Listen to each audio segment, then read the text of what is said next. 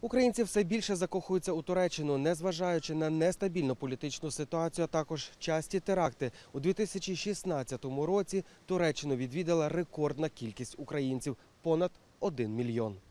Окупація Криму таки вплинула на уподобання українського туриста. Від безвиходів він кинувся за альтернативою і знайшов Туреччину. Воно й не дивно, адже привітності, сервісу і доступної ціни годі й шукати, як не у сусіда по Чорному морю. Турецькій гостинності ще варто повчитися багатьом. Мы вас ждем этого сезона, так что мы любим, кохаем свою Украину. И, пожалуйста, вот этот турецкий чай вас ждет. Теракти сьогодні головна проблема Туреччини. Їх влаштовують темні сили, щоб підірвати імідж країни, вважає тамтешня влада. Відтак, боротьба з тероризмом сьогодні пріоритетне завдання як для Туреччини, так і всього світу. Теракти для нас це велике горе, це удар по туристичній сфері, але ми не здамося. Ми робимо все можливе, щоб побороти тероризм. Я хочу констатувати, що за всі роки терактів у різних містах Туреччини в Анталії не було жодного. Ми робимо все можливе для безпеки туристів і наших громадян. Серед країн з розвиненою туристичною інфраструктурою Туреччина найпопулярніша серед українців. Жодне інше місце в світі не користується таким масовим успіхом. У Туреччині є все необхідне для проведення повноцінного відпочинку: море, пляжі, готелі, інфраструктура, клімат і красиві місця. І з кожним роком таких місць у Туреччині стає все більше. Якщо до прикладу у провінції Анталія всім добре відомий Белек, то ось місто Серік лише набирає популярності. Seviyede otellerimiz var.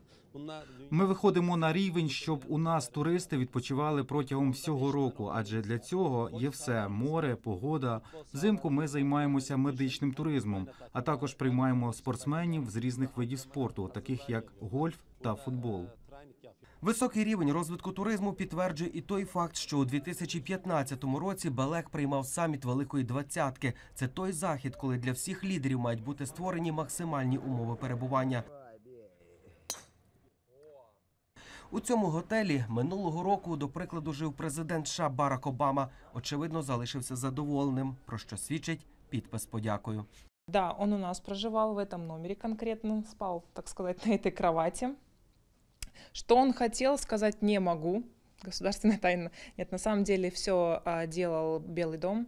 Полностью все то, что он хотел, доставляли напрямую сюда. Мы этого не знаем, что, что тут происходило, осталось тайной. Единственное, что могу вам сказать, то, что у него были здесь полностью бронированные стекла все, чтобы никого не было. И полностью у нас э, закрывался отель на этот период.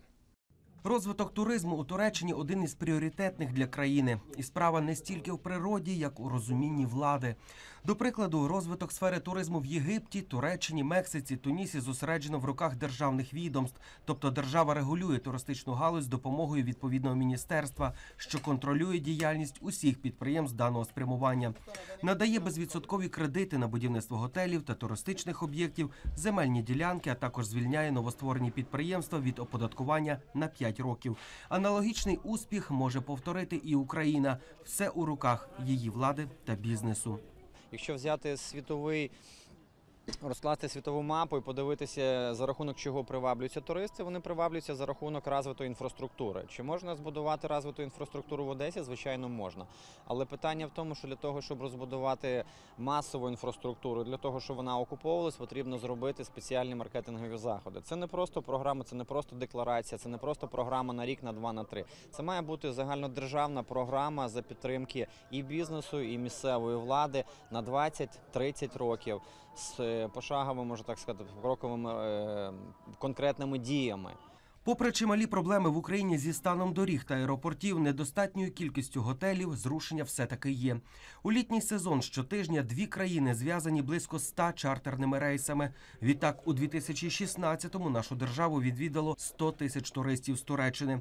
Було б більше, та суттєві корективи вносить ситуація на сході держави. Якщо до окупації Донбасу та Криму Україну щорічно відвідало понад 25 мільйонів туристів, то останніх три роки їх вдвічі поменшало. Українське побережжя в Одесі, е, в Херсоні, воно ще не настільки розвинулося і не, не, встигає приймати весь той наплив туристів. Тому я думаю, що це турець, власне на Туреччину направилися ці потоки. І я в будь-якому випадку обмін туристичний це тільки плюс, оскільки якщо туристи приїжджають е, до Туреччини і бачу добрий сервіс тут, відповідно, буде це буде сприя, е, сприяти підняттю якості сервісу і в Україні. У світі є чимало прикладів країн, які мали подібні конфлікти, як Україна, але туризм розвивали успішно. Грузія отримала туристичний бум після 2008 року. Не менш популярний Ізраїль, який має постійні проблеми з Палестиною. Довіру туристів швидко відновила і Японія, яка оговталася після Фукусіми.